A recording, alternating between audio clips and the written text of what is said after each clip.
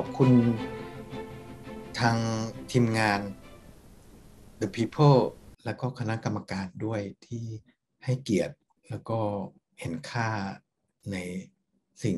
ที่ผมทำนะครับแล้วก็หวังว่ามันจะสามารถเป็นแรงบันดาลใจให้คนทำหนังหรือว่าคุณทำศิลปะอื่นๆในการสู้ ทำอย่างไรเราถึงต้องไม่สร้างกรอบกับตัวเอง โดยที่เราไม่ทำความเดือดร้อนให้คนอื่น แต่ว่ากรอบในความคิดเราสามารถคิดได้ทำได้ภายใต้กฎหมายอย่างเงี้ย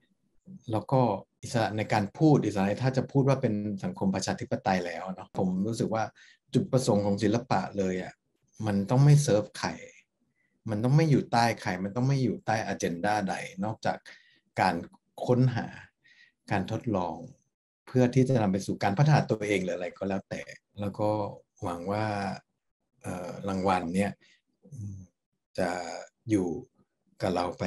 นานๆ